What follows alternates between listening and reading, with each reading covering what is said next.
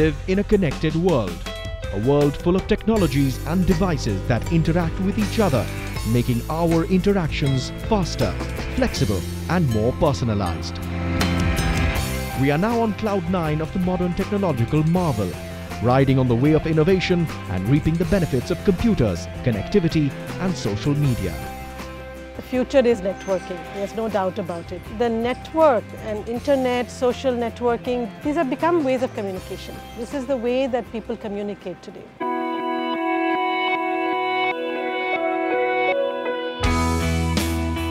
And India stands at the cusp of this digital revolution, faced with the prospect and responsibility of empowering every citizen and connecting even the remotest corners of the country. I dream of a digital India where 1.2 billion connected Indians drive innovation. I dream of a digital India where quality education reaches the most inaccessible corners driven by digital learning. I dream of a digital India where the world looks to India for the next big idea.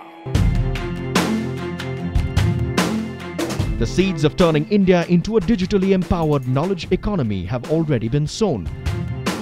After the telecom revolution swept the nation in the 90s, India now has more smartphones than laptops and desktops. Mobile internet works where broadband fails to reach. I actually know a story of uh, somebody telling me that back in my village, people might not have light, but they have a phone and they have Facebook. Um, that's where we're moving. We're online already. We're, we're talking about it. We're connected to people all over the world.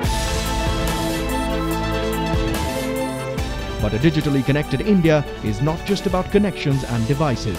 It is also about the innovations, collaborations and big ideas it brings with it. We see in India the innovation of two types. One is uh, foundational innovation, which is basically creating something which just doesn't exist, but also equal amount of uh, application-led innovation, which means that you have something and how could you apply it in Indian context, in rural Indian context. The foundation for a networked India is already being laid Young innovators and entrepreneurs are using the limitless potential of connectivity to tackle India's problems to bring about a social change.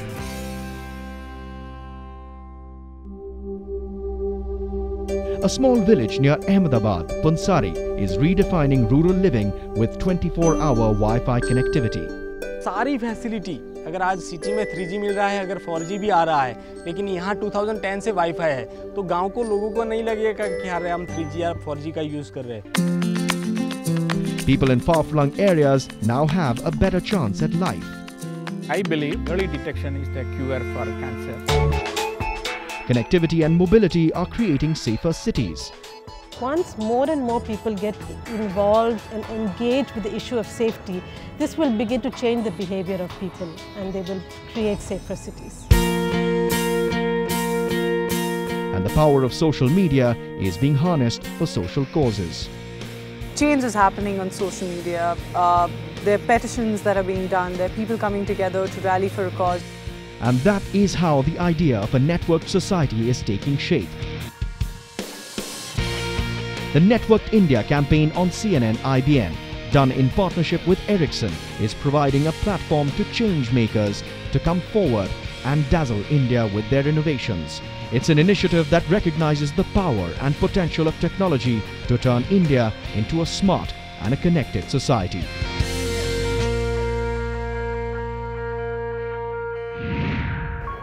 Hello, I'm Sukhmani Sadana and I am at the National Science Centre in New Delhi, which was set up in 1992 to make science popular and encourage scientific thinking.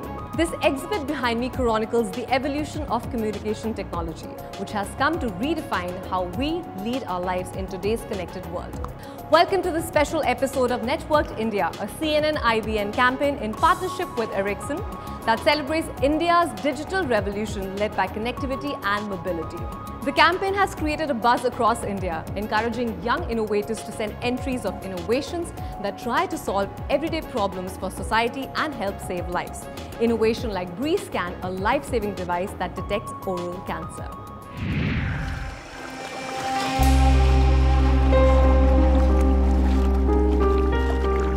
Meandering through the backwaters of rural Kerala, a creaky old boat ferries a life saving device to a fisherman who lives miles away from a basic primary health center.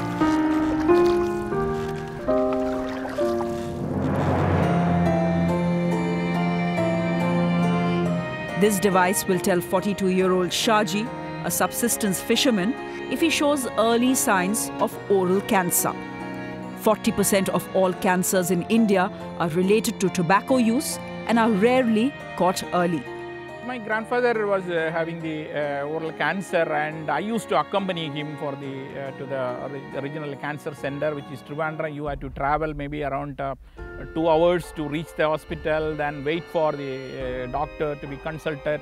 Every doctor I met at that time, at least I remember that, they were talking about these could have been cured, cured if it was detected earlier. Inspired by this experience, Dr. Suresh Nair, a government scientist turned entrepreneur, developed BreezeScan.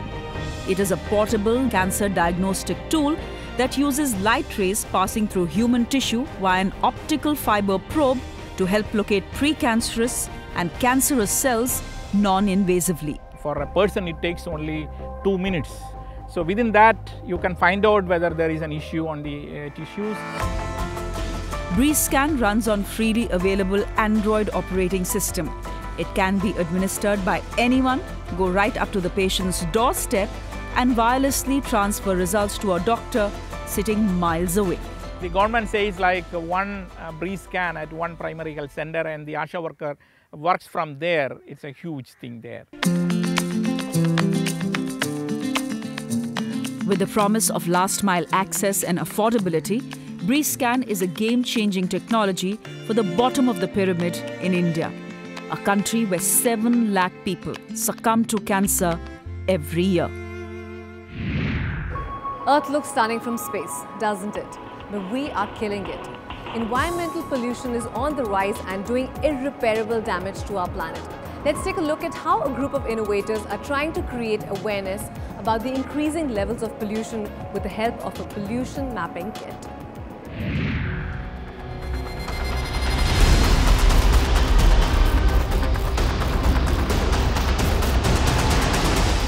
This is the air we breathe every day, every moment of our lives.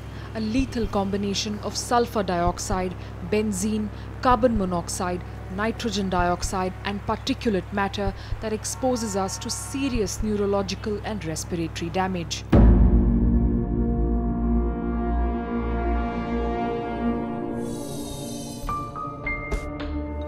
India is home to 13 of the 20 most polluted cities in the world. 20 lakh Indians die every year due to outdoor air pollution. Yet, we lack comprehensive data at the ground level that could help us curb pollution.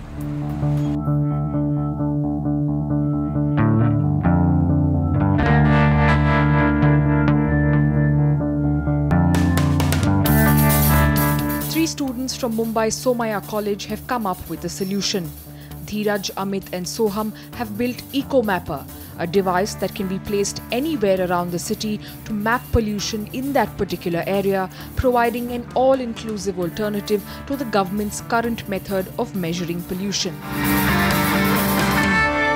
The government is doing work for mapping pollution. वो every month survey लेते but unka jo data hota that is uh, restricted to some particular area and is not for whole Mumbai. And what we are doing is we are doing at a base level. We have kits at each and every location, so we can get accurate data. Our kit is more cheaper and it is more reliable and it is more robust. EcoMapper has built-in sensors which accurately identify the level of dust, noise, particulate matter and carbon monoxide and can be programmed to include 54 more such sensors. The pollution data obtained is open and accessible to anyone who wants to view it. With more people, more cars and more industries, pollution is an ugly reality we can't escape from. But an eco-mapper in each corner of each city can help us understand how best to face it. If Eco Mappers is drawing our attention towards building a healthier planet, then Safety Pin aims to create a safer one. This map-based mobile app is combining the power of connectivity and the will to collaborate among citizens to help create safer cities. Let's take a look. Welcome to New Delhi. Busy, chaotic and always in a hurry. But all this noise can't drown out the fact that it is one of the most dangerous and unsafe cities in the world, especially for women. I always have that sense of fear when I'm alone in the city and I'm walking back home or I'm walking somewhere else. I usually don't feel safe while taking the public transport, especially in the evenings. I think that going out at night particularly is, um, well, you know, it makes one think twice. It's, it's quite ridiculous. I mean, a city should be accessible at all times. As cases of crimes against women continue to rise, a map-based mobile app, SafetyPin, is taking baby steps to make women feel safer in the city. So by making it into an app, the idea is that anyone, anywhere in the city can see the safety score, can engage in the process of creating safety. Because once more and more people get involved and engage with the issue of safety, this will begin to change the behavior of people and they will create safer cities. SafetyPin lets users know which areas of the city are safe, unsafe or moderately safe. The app uses crowdsourcing to rate the locations based on nine factors, including gender balance, presence of security, transport and lighting. Same parameters that we have in our audit, we are now using it, trying to do an experiment of doing it through photographs. So we work with cab services, we take photographs of the city at night. In that way, we can collect much more large-scale data. The app also acts as a personal GPS tracker, allowing users to be tracked or to trace a loved one. So you may be coming back late from work, you may be coming back late from college, you may be coming back from the airport, you may be taking a form of public, public transport, you're not very comfortable. So you just switch the Track Me feature on and the people who are in your list, they'll be able to track you and see your movement. What SafetyPin demonstrates is that by combining the power of connectivity with a will to collaborate, we can make safer neighborhoods and cities a reality.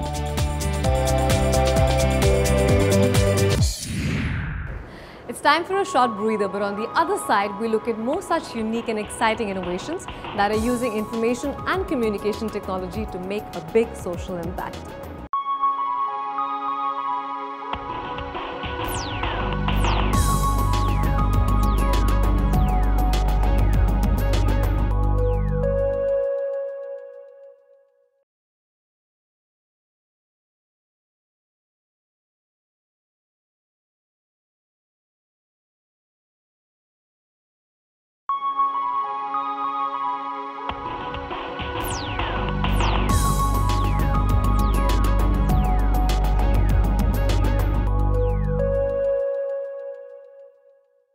Welcome back to Networked India. These devices may look bulky and out of date today, but not very long ago, we marveled at their existence and their potential to impact our daily lives. Now we can store more and more intelligence into boxes small enough to fit into the palms of our hands, while we try to decipher an information overload. But what if there was an app that did just that for us? Let's find out.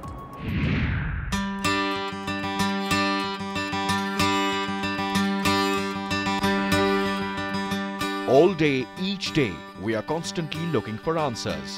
Where to eat, what to wear, what gadget to buy, which movie to watch, and sometimes even how to mend a broken heart. But what search engines throw at you is a long list of links.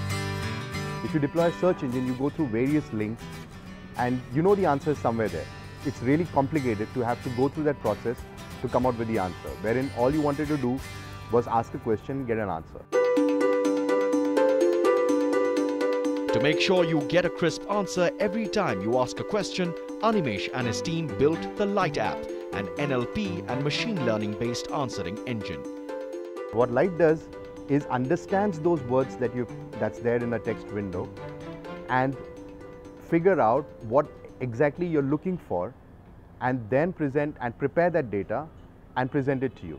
So it's sort of search outsourced. It's like you have your buddy out there that is on standby to answer any question that you have on anything at any time.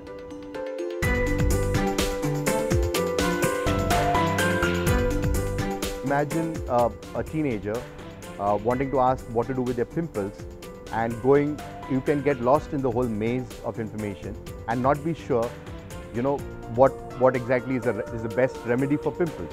Whereas on the other hand, you ask that on light and you get a qualified answer that gives you a cure, one or two different methods that's most effective in curing pimples. It's a future of search, you know, where it's much more simpler, convenient search and it's a future for us as a, as a species as a whole because questions, you know, give us insight into minds and that's what happens when people are able to ask questions freely. As a society, we are able to evolve because we know more and we become more.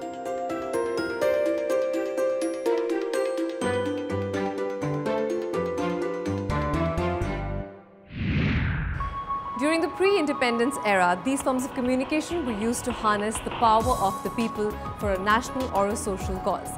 Decades later, with the emergence of social networking, organizations like BitGiving are using connectivity and collaboration to get people behind a cause. Let's take a look.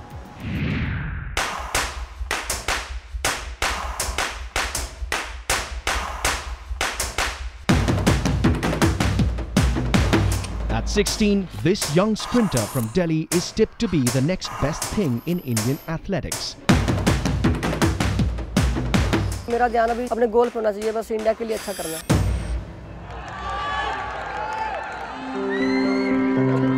Son of a farmer in Haryana, Beyant Singh's dream of winning a medal for India faced hurdles. He lacked adequate funds to train.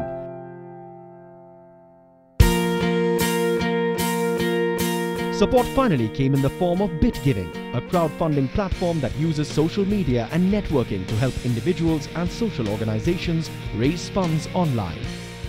Change is happening on social media. Uh, there are petition, petitions that are being done. There are people coming together to rally for a cause. That power that is being harnessed for an online platform like ours. We've seen Bean Singh, an athlete nobody knew about, uh, actually going out and raising funds to represent our, our country uh, worldwide.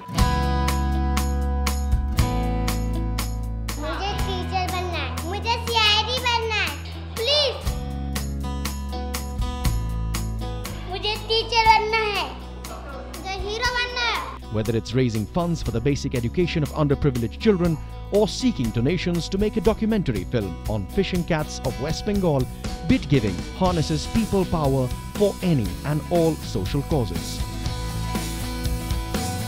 What BitGiving uh, essentially does at the end of the day is it's a platform for people who need funds to make something amazing happen and people who want to be part of something amazing. And uh, that's the power of crowdfunding and that's the power of the crowd.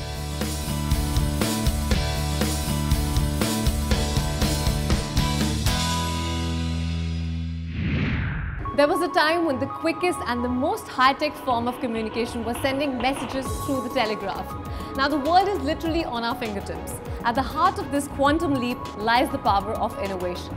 In the next episode, we will showcase five game-changing innovations that exemplify the idea of building a connected and a networked society.